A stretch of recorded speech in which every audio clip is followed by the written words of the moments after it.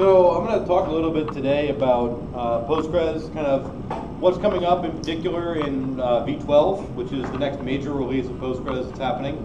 Um, that'll be coming uh, this fall. Uh, we're actually coming up pretty close on feature freeze for it, so we've got a pretty good list of features that are already uh, committed that'll be included or very likely to be included in that release. Uh, a little bit about me, as mentioned, I'm a major contributor to Postgres. I'm also on the committers team. I run the Postgres infrastructure, so if you see an issue with pg.org, you can call me. Um, I also worked on row level security in 9.5, uh, column privileges in 8.4. Um, kind of my really big claim to fame, I guess, is I implemented the role system in 8.3, which was pretty nice.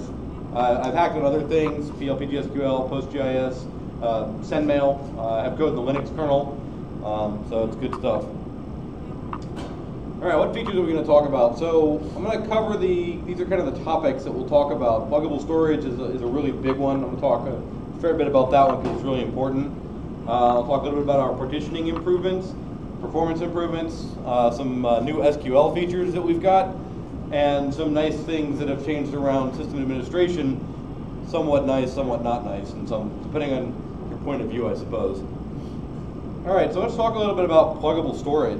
Um, so what's going into V12 right now has been primarily just back-end internal changes. This is uh, some re-architecting and refactoring of the way Postgres accesses its storage. Um, it's going to provide for a basis for what's called uh, zheap or zheap, um, which is not going to be included in V12, but might be included in a future version. Uh, this is an alternative storage architecture to uh, Postgres' traditional heap-based format, uh, traditionally in Postgres, you have MVCC, and then we have only uh, what typical database people would consider to be a, a, redo log, right? Which is that we have a write-ahead log, and in the event of a crash, we can go to the right, last checkpoint in the write-ahead log and play forward, right?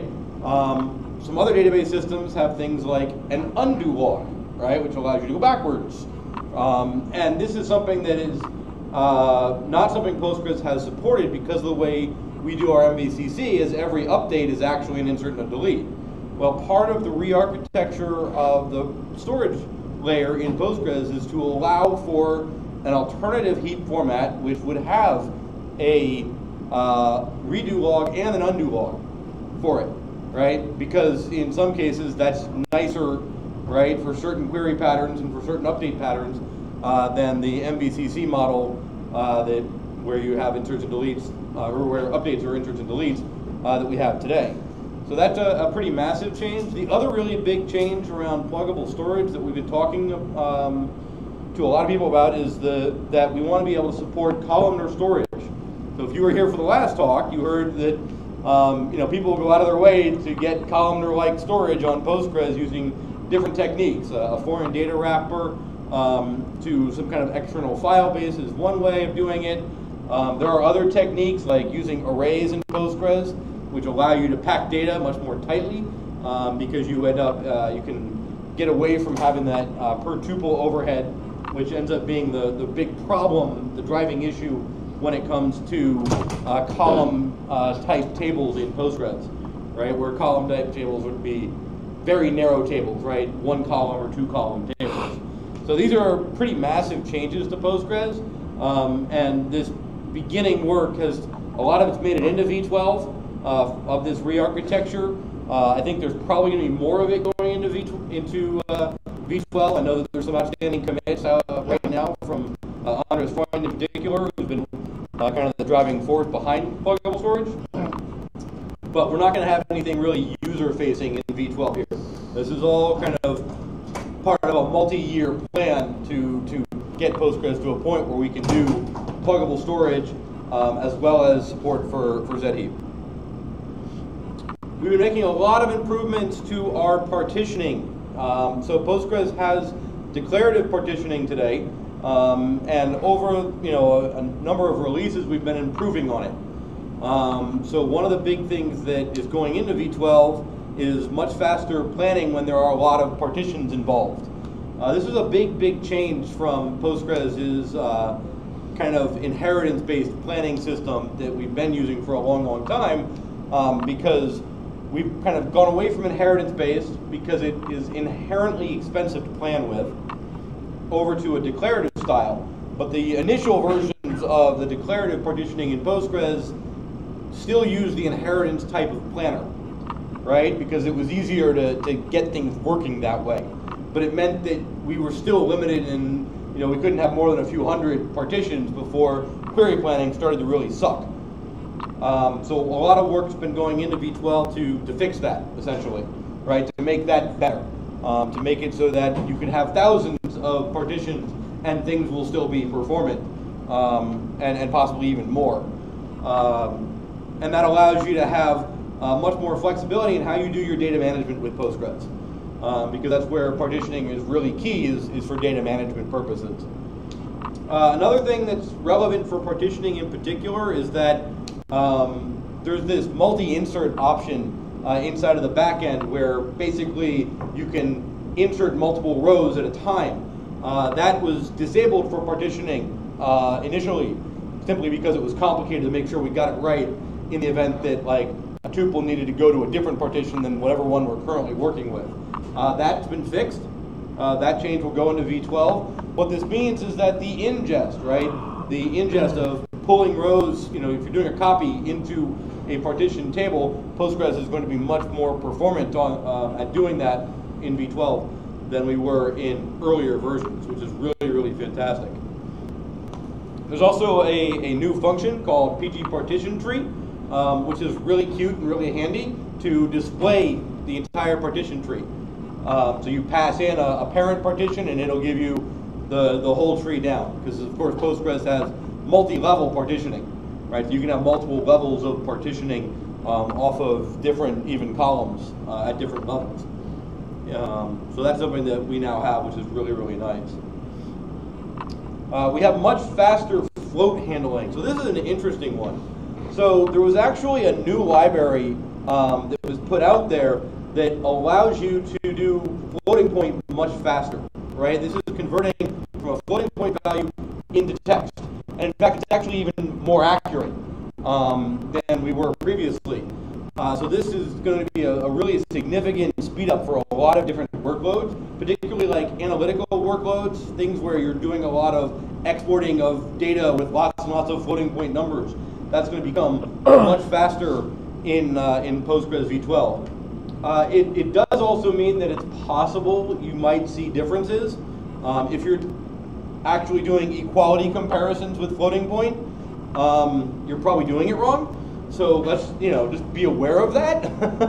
hopefully, uh, hopefully most of the people here know that. But it is a really, uh, a really impressive uh, improvement in the performance and throughput uh, when exporting data out of Postgres that has a lot of floating point in it. So this is one that I'm hoping, I'm not sure if he's actually committed it yet, but we've had a lot of discussion about it, uh, which is the ability to have serializable with parallel query. Um, so it was previously unsupported. Um, serializable is the, the highest uh, isolation level Postgres supports, and it's also what we call truly uh, serializable, which is a, tends to be a step above what a lot of other database systems provide. Um, in that we actually track reads versus writes and look for uh, what are called dangerous edges, right, or dangerous transitions inside the database system.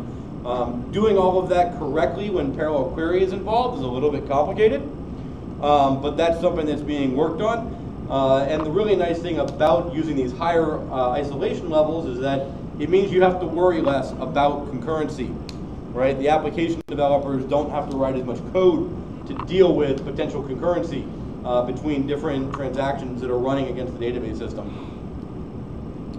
So this is something to, to be on the lookout for if you've been using serializable as an isolation mode and, and you haven't been getting parallel query, well, hopefully we've, we've now solved that in, uh, in V12. Um, another thing that I didn't put on here that I think is actually, uh, that's related to serializable that's important is the ability to have serializability on replicas. Uh, that's not something that we were supporting. I know that that's something Thomas Munro is working on. I don't know yet whether it's going to make it into V12. I kind of hope it does because that would be really awesome. Um, but if you're looking at serializable as your isolation level, you're doing that already. Uh, be looking at V12 to improve uh, things in a number of ways uh, for those kinds of workloads. We also have this cool thing called copy from with a where clause.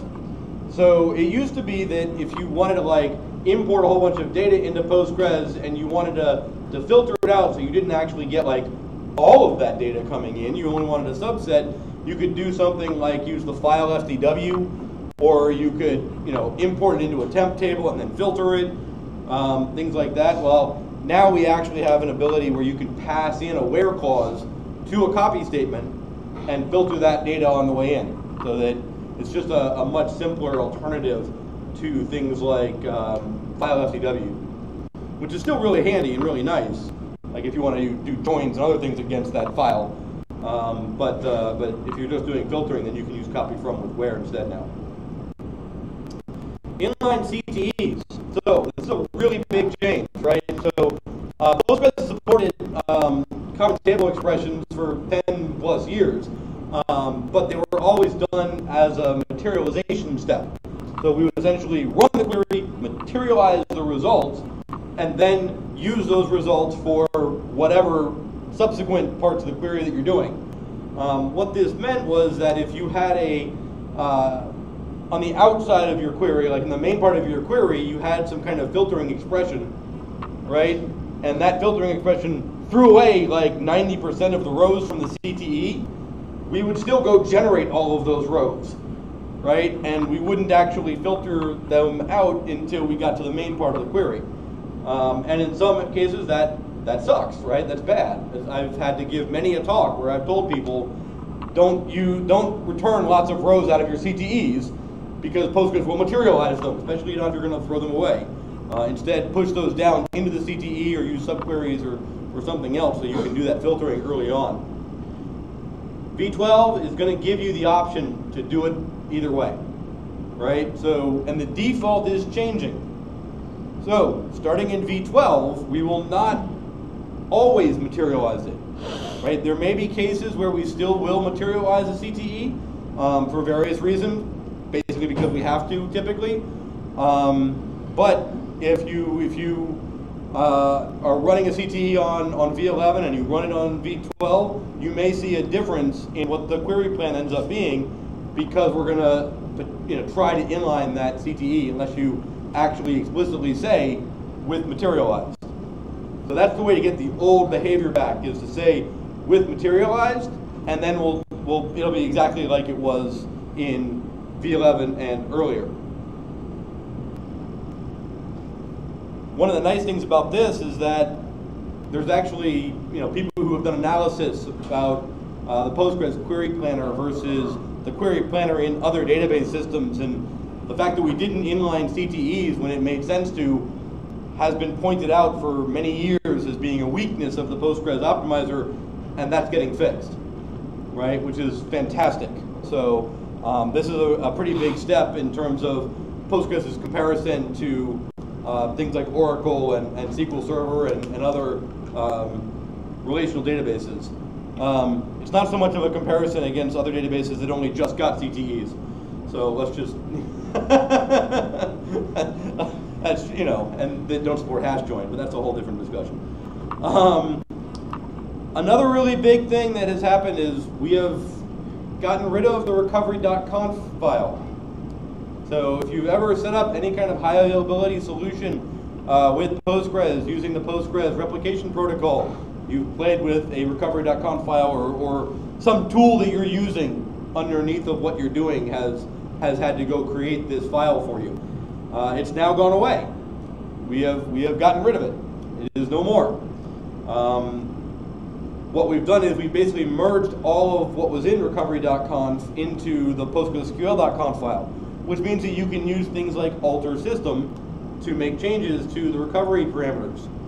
Um, it uh, increases the flexibility a lot of Postgres with this, but it's going to be a pretty disruptive change to anyone who's doing high availability or doing regular um, like recovery scenarios, right? So if you back up our server and then recover it onto another server, that, that process is likely to have to change unless you're using a tool like pgBackRest or something that kind of hides that stuff under the covers for you. Um, I do think that this is going to kind of reduce the overall fragility of, of HA solutions moving forward.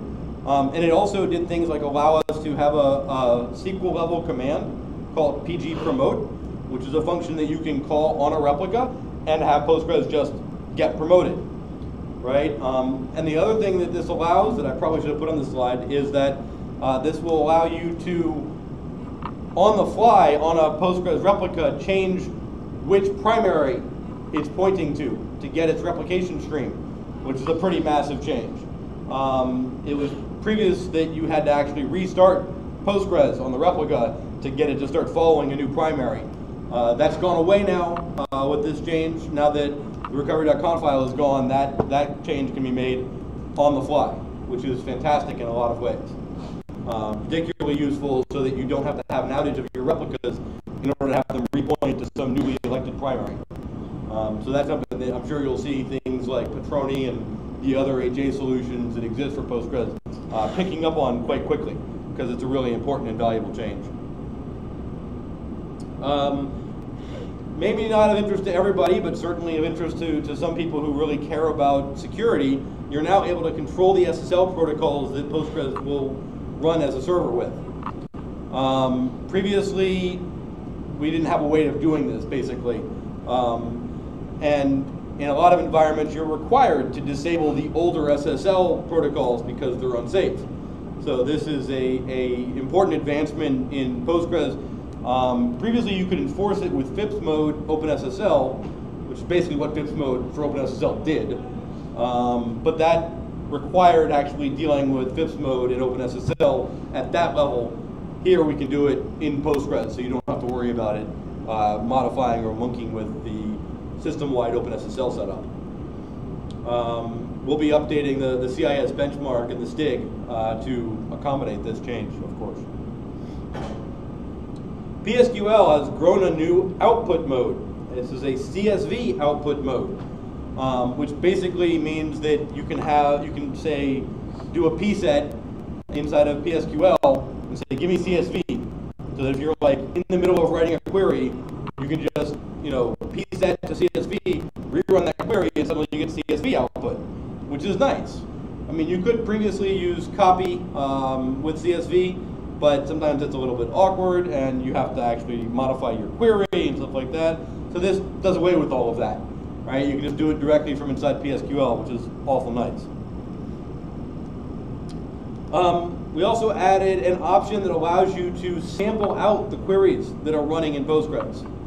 So previously in Postgres, uh, you had a, what's called a logmin duration statement, which basically is a way of saying, okay, Postgres, log all the queries that take longer than this amount of time. Now, on a very high rate system, if you set that to zero, Postgres slows down. right? Because everything bottlenecks on trying to write these queries out to the log. Um, now you can actually get away with that if you also configure this logmin um, sorry, the, uh, the log statement sample rate, because you can tell Postgres, okay, only sample queries at, at this rate. And then what will happen is Postgres will give you a, a sampling of queries uh, and have those go into your query log for later analysis. So this is particularly helpful when you have systems that have lots and lots of very short queries, right? That's, that's the big, big place where this is going to be really advantageous. Um, because previously, if they were really short, really fast queries, Postgres wouldn't log them. And if you enable logging of them, we would log all of them. And that would slow everything else down. Um, so now we have this ability to do, to do sampling. And because we can do sampling, we can then extract out those samples and do further analysis on them. And you can see, like, on an individual query basis, how fast those queries actually work. Is there a question about that? Yeah, is it like uh, 100 queries per minute, or is it like every 10 queries, something like that? And what's actually... Oh, how you configure it? Yes. Uh, I believe it's a percentage basis. Okay. Right, yeah, some kind of percentage basis that you would, you can tweak and you can adjust, right, based on what you want to do. Um, that's my recollection. I have to admit, it's brand new in V12 and I haven't played with it very much myself, um, but I'm pretty sure it's percentage based. Um, so that's kind of wrapping it up in terms of what I had, yeah, five minutes. So um, I did want to make a, a few other comments. So these are kind of features for V12. Uh, looking forward to the future, I talked a little bit about zheap. I talked a little bit um, about columnar storage. I do think that those are big things that are going to be happening in Postgres uh, moving forward past V12. I think that there's going to be more work going into uh, just-in-time compilation with Postgres. So for those of you who are not aware, Postgres already has the ability to do some just-in-time compilation of parts of a query, right? Actually taking parts of a query and compiling it down into uh, machine code and then running it. Um, that work has kind of gotten backlogged behind the pluggable storage work, but I suspect once we have pluggable storage in V13 or in V12, I'm really hoping that V13 starts to move things forward more on just-in-time compilation and the, the modifications to our executor uh, that that entails, because that's going to be a massive win for like analytical queries and things that need to process lots of data, uh, because eventually we want to get to a point where you can potentially have an entire query that is compiled down to machine code and optimized and then run against the system, um, which can really be a, a massive improvement in, in terms of uh, overall performance. So with that, um, I've got five minutes left, so why don't I, I just wanted to open it up to, to questions. If anybody's got some, I'm uh, happy to entertain pretty much anything.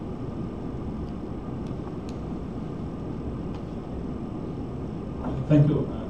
Uh, I would like to ask about the ecosystem about PostgreSQL, the company, developer. So about the ecosystem around Yes. Postgres? Yes. So I would say the ecosystem around Postgres is really quite positive. Um, we have a lot of different companies. There's really, I would say, three or four major companies that are contributing code to Postgres, um, and, and by the form of having uh, one or more full-time staff who are spending time hacking on Postgres, um, which I think is, is a really good thing for uh, our community. Um, it's kind of interesting because we're starting to see people buy up Postgres companies. Um, there's been a couple of acquisitions recently. The most recent one uh, that I think people might be aware of is CitusDB, uh, was bought by Microsoft. Um, I don't know that that's going to change anything right now. Uh, my friends over there have said that things are changing, but they're still very much focused on Postgres. Um, and so I'm, I'm hopeful that it will. That said, uh, CitusDB was an extension. They did their own thing. They didn't really actually. I mean, they did. They contributed some stuff back, but it, it, I don't think it's going to have a major impact in terms of the overall velocity of the project.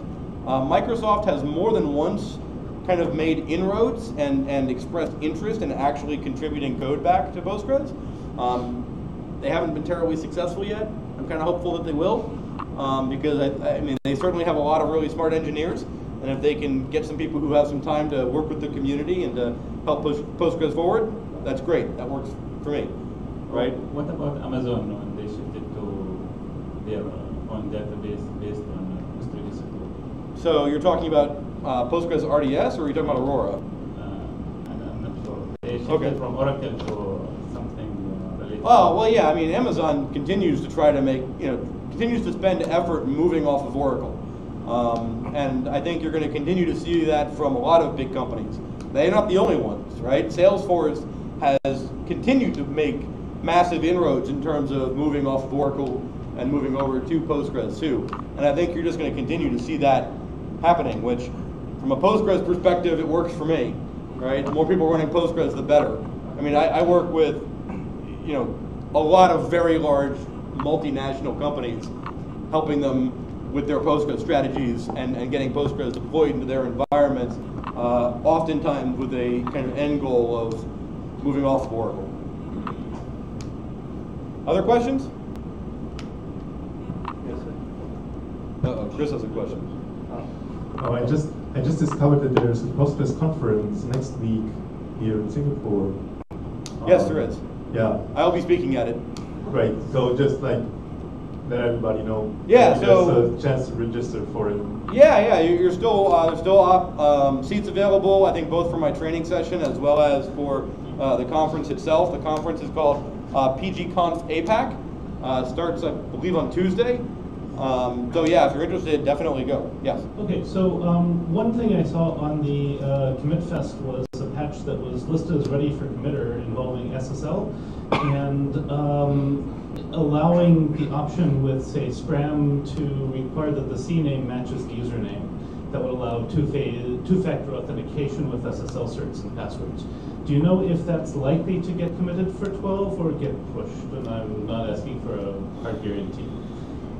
I mean, if it's marked ready for committer, that patch, as I recall, was pretty straightforward and relatively small. So I think it probably is going to boil down to if there's any committer who has interest. Um, I can name a few who I think might, and and we could probably go hound to them. Um, one of them, unfortunately, being myself. So maybe we should chat about that. Um, if it if it's pretty reasonable and it and it's been through perm, you know, enough reviews. I haven't looked at it myself, but that is that's interesting. I wasn't actually I hadn't followed that one, so I, I'm curious about it. Any other questions? All right. Well, you get a couple minute break from me, and then I'm back up here talking about more stuff.